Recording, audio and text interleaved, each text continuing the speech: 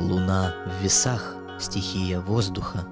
В поведении увеличивается желание красоты, гармонии, равновесия, взаимодействия с людьми, повышается чувствительность к проявлениям грубости, бестактности и всякой дисгармонии. В настроении и поведении может проявляться нерешительность и неопределенность. Рекомендуется завязывать новые знакомства, принимать гостей, общаться с окружающими. В это время лучше всего пройдет работа, связанная с общественно-партнерскими отношениями, а также с украшением окружающего пространства. Хороший период для художников, искусствоведов, а также юристов, социологов, психологов, консультантов. Успешными должны оказаться косметические операции, лечение зубов и органов слуха. Не рекомендуется хирургическое вмешательство в области почек, надпочечников, поясницы и всего позвоночника. Принятие важных решений лучше перенести на другое время. До 15.20 длится десятый лунный день.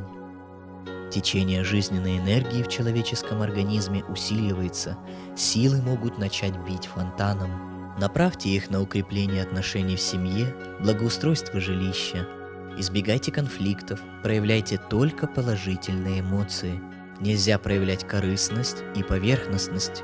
Главный девиз этого дня – созидание во всех его смыслах. День заключения сделок и проведения торговых операций. Благоприятно разрешение конфликтов, окончание судебных разбирательств. Хорошо начать строительство нового дома.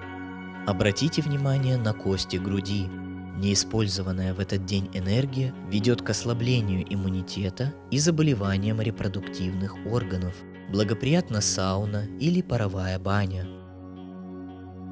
После 15.20 наступает 11 лунный день. Один из самых энергетически мощных дней лунного месяца. В вашем организме просыпаются мощные силы. Если вы не умеете ими управлять, можете себе навредить. Не планируйте большие интеллектуальные или физические нагрузки. Это период тщательности и собранности. Все нужно делать осознанно. Необходима осторожность и внимательность в делах. Приступайте к действиям только в том случае, если осознаете весь процесс от начала до конца. Необходимо все начатое доводить до конца. Благоприятно заботиться о близких, делать им подарки, дарить любовь другим людям. Это день слияния с природой, с ним связан позвоночник.